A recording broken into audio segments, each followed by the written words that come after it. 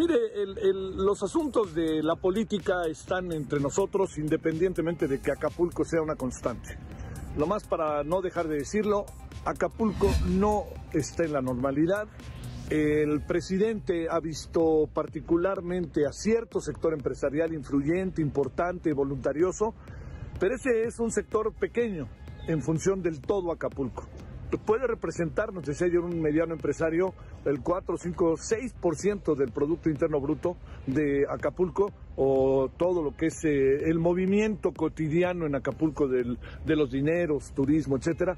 Pero el presidente no se ha sentado con los medianos empresarios, no se ha sentado con los pequeños restauranteros, los hoteles que son pequeños, nuestros grandotes hoteles de 500 cuartos, y el presidente no lo ha hecho. Y de nuevo lo digo, no ha salido a la calle, no ha visto los ojos a la gente, y eso ha ido creciendo en cuanto a un encono y, un, y una diría yo, una, una molestia, ¿no? Fundada, un asunto que pasa por la sensibilidad de la gente que nunca podemos soslayar y que es, no nos ha visto ya este hombre. Nosotros cada vez que hay elección hemos votado por él. Cada vez que nos ha propuesto personas que pueden ser candidatos hemos votado por él. Por eso votamos por la gobernadora, por eso votamos por la presidenta municipal, porque lo veíamos a él y él no ha estado en esta cotidianidad.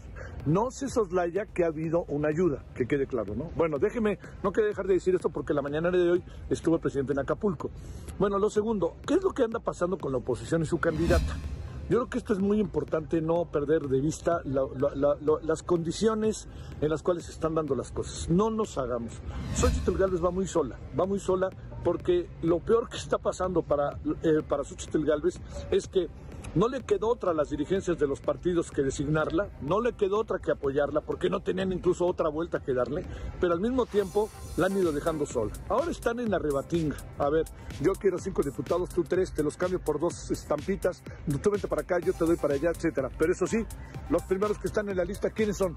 Pues el presidente de Morel, el presidente del PRD, también el de Moreno, el presidente del PRD, el presidente del Movimiento Ciudadano, el eh, también el Movimiento Ciudadano, aunque no forme parte del frente, el presidente del PAN y el presidente del PRI. O sea, los presidentes de los partidos andan de cuenta chiles, pero antes que nada se anotan ellos.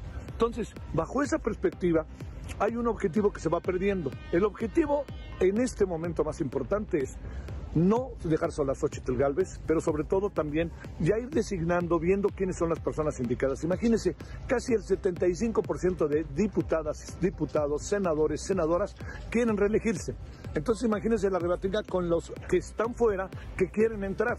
Y entonces se vuelve todo este asunto en un toma y daca de, bueno, vengan primero los míos, luego entran los otros, etcétera. A lo que voy es que Xochitl Galvez está inquietantemente sola. Ella no puede decir ella se puede equivocar, como cualquiera, ¿no? Resulta que yo digo una cosa al Lalito y a los cinco minutos tengo que decir que no es cierto. Resulta que digo algo sobre mi ley y lo que yo quería decir era algo sobre la democracia. Como sea, ¿qué se interpreta? Que no lo hizo y que lo hizo mal. Y al decir no lo hizo y lo hizo mal, pues alguien debe de ayudar, coadyuvar, estar a un lado para que ella pueda eh, digamos, también liberar el asunto para que ella no sea el centro único de todas las críticas, aunque ella se las merezca, pero ella forma parte de un colectivo, de una colectividad que la está apoyando. Está sola Xochitl. Eso es inquietante porque si alguien está acompañadita es la señora Claudia Sheinbaum. Es cosa de verla. No importa lo que diga, lo que importa es que está ahí, le llenan los estadios, le llenan los estados y además ya sabe, hay una extensión de López Obrador claramente manifiesta en lo que corresponde a Claudia Sheinbaum tiempos muy difíciles para la oposición porque no se le ve salida a la oposición. En este sentido, si Xochitl Galvez no la, ah, no la acompaña en serio, si la siguen dejando sola, Xochitl Galvez no va a poder crecer.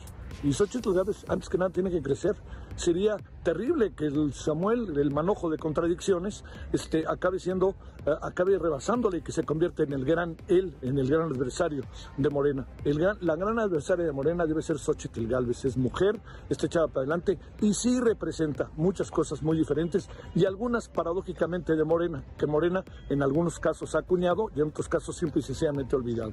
Veamos qué pasa. ¿eh? Pero hay dos temas ahí que no se nos vayan. Acapulco, por favor, no se nos olvide. Y segundo, Xochitl Gálvez está sola. Y algo tienen que hacer, ¿eh?